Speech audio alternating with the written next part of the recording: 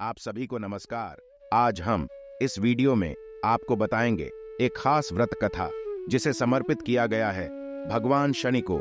यह व्रत कथा हर शनिवार को भगवान शनि की पूजा अर्चना के साथ की जाती है और इसका महत्व विशेष रूप से हिंदू धर्म में होता है। तो चलिए इस पवित्र पर्व की व्रत कथा को सुनते हैं और जानते हैं इसके पीछे छिपे धार्मिक महत्व को। एक समय में स्वर्गलोक में सबसे बड़ा कौन के प्रश्न पर नौ ग्रहों में वाद विवाद हो गया। यह विवाद इतना बढ़ा कि आपस में भयंकर युद्ध की स्थिति बन गई।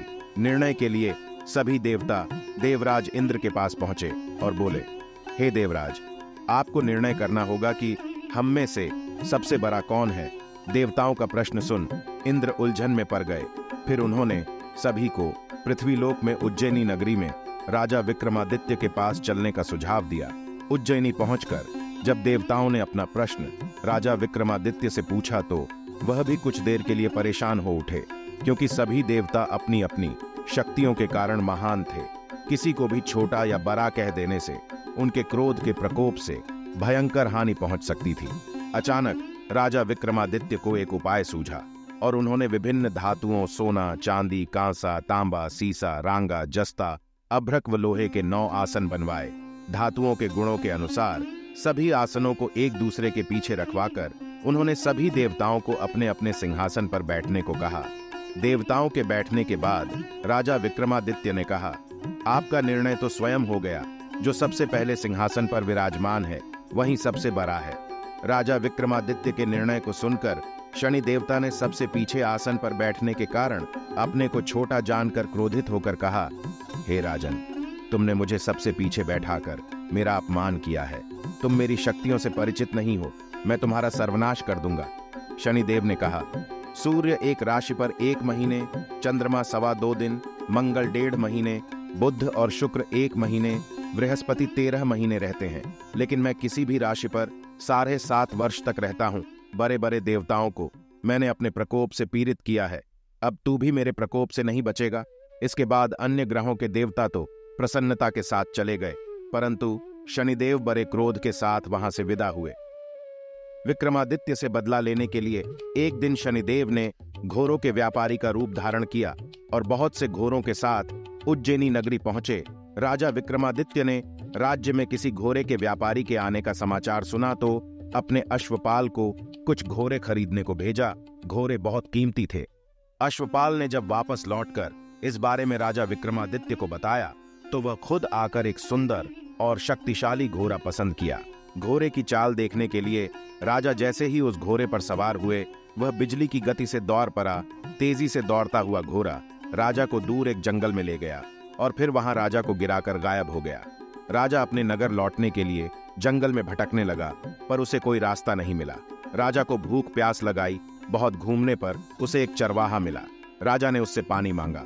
पानी पीकर राजा ने उस चरवाहे को अपनी अंगूठी दे दी और उससे रास्ता पूछकर जंगल से निकलकर पास के नगर में चला गया। नगर पहुंचकर राजा एक सेठ की दुकान पर बैठकर कुछ देर आराम किया। राजा के कुछ देर दुकान पर बैठने से सेठ जी की बहुत बिक्री हुई। सेठ ने राजा को भाग्यवान समझा और उसे अपने घर भोजन पर ले गया। सेठ के घर में सोने का एक हार खूंटी पर लटका हुआ था। राजा को उस कमरे में छोड़कर सेठ कुछ देर के लिए बाहर चला गया। तभी एक आश्चर्यजनक घटना घटी। राजा के देखते देखते सोने के उस हार को खूंटी निगल गई। सेठ ने जब हार गायब देखा तो उसने चोरी का संदेह राजा पर किया और अपने नौकरों से कहा कि इस परदेशी को रस्सियों से बांधकर नगर के राजा के पास ले चलो। राजा ने विक्रमादित्य से हार के बारे में पूछा तो उसने बताया कि खूंटी ने हार को निगल लिया। इस पर राजा क्रोधित होकर चोरी करने के अपराध में विक्रमादित्य के हाथ पाँव काटने का आदेश दे दिया। सैनिकों ने राजा विक्रमादित्य के हाथ पाँव काटकर उसे सड़क पर छोड़ दिया। कुछ दिन बाद एक तेली उसे उठाकर अपने घर ले गया और उसे कोल्हू पर बैठा दिया। राजा आवाज़ देकर बैलों को हाँकता रहता। इस तरह तेली का बैल चलता रहा और राजा को भोजन मिलता रहा।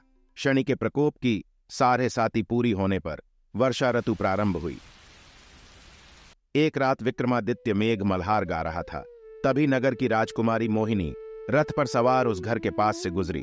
उसने मल्हार सुना तो उसे अच्छा लगा और दासी को भेजकर गाने वाले को, बुला लाने को कहा। दासी लौटकर राजकुमारी को अपंग राजा के बारे में सब कुछ बता दिया। राजकुमारी उसके मेघ मल्हार से बहुत मोहित हुई और सब कुछ जानते हुए भी उसने अपंग राजा से विवाह करने का निश्चय किया। राजकुमारी ने अपने माता पिता से जब यह बात कही तो वह हैरान रह गए।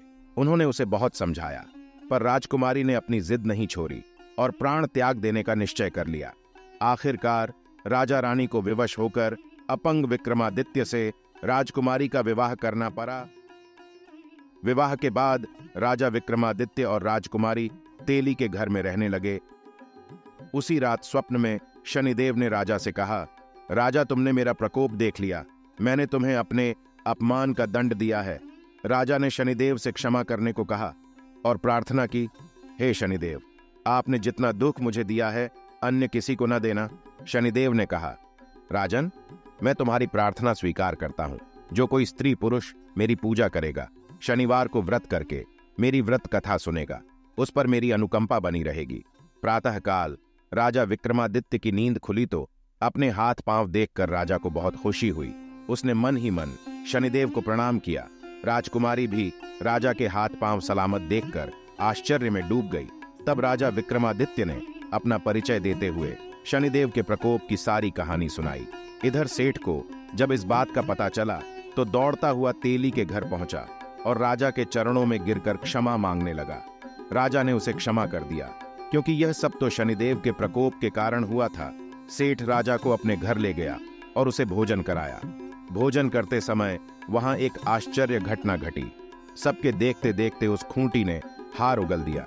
सेठ जी ने अपनी बेटी का विवाह भी राजा के साथ कर दिया और बहुत से स्वर्ण आभूषण, धन आदि देकर राजा को विदा किया। राजा विक्रमादित्य, राजकुमारी मोहिनी और सेठ की बेटी के साथ उज्जैनी पहुँचे तो नगरवासियों ने हर्ष के साथ उनका स्वागत किया। अगले दिन राजा विक्रमादित्य ने पूरे राज्य में घोषणा कराई कि शनिदेव सब देवों में सर्वश्रेष्ठ हैं। प्रत्येक स्त्री पुरुष शनिवार को उनका व्रत करें और व्रत कथा अवश्य सुने। राजा विक्रमादित्य की घोषणा से शनिदेव बहुत प्रसन्न हुए, शनिवार का व्रत करने और व्रत कथा सुनने के कारण सभी लोगों की मनोकामनाएँ शनिदेव की अनुकंपा से पूरी होने लगी। सभी लोग आनंद पूर्वक रहने लगे।